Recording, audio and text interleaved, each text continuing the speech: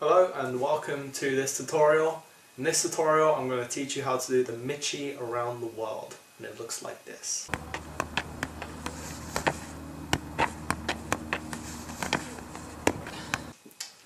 Okay, so the Mitchy around the world is sort of like the Touzani around the world's opposite. So if you're having trouble with the Touzani around the world or you simply don't like the trick, maybe you want to try Mitchy around the world. So yeah, what it is, it's an inside around the world and a crossover mixed together. So you're going to be able to want to be able to do both of those tricks pretty comfortably before you attempt the Mitchy around the world. So inside around the world and crossover and they look like this.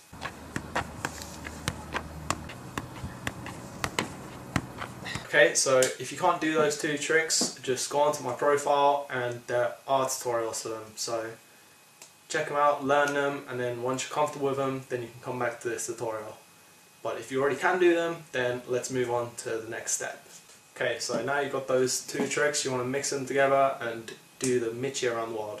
So it's inside around the world and crossover in one motion.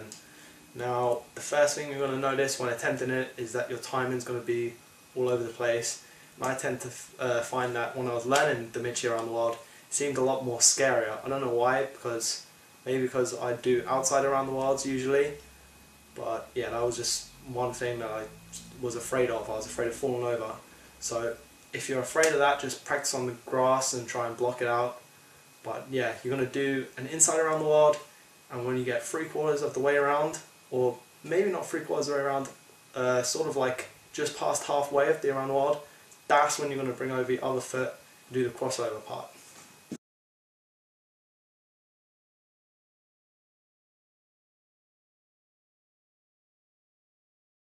Okay, so as the as you're doing the crossover part, the ball is going to pop up and you'll continue juggling. Now, when you're learning the trick, um, your timing is going to be all out of place, so that just that just comes down to practice. I mean, these days you can learn it really quick. So if you like study the trick, watch the trick over and over again, like keep replaying the uh, slow motions in this tutorial and you should be able to get it. But um, yeah, it's all down to practice and once it like clicks, you'll be able to do it. Okay, so one piece of advice I would say is um, keep the ball very centered with your body. Don't like spin it off to the side or keep it too high. You want to keep it very centered and try and keep the ball low. I think that helps with the Mitchy around the world if the ball is low.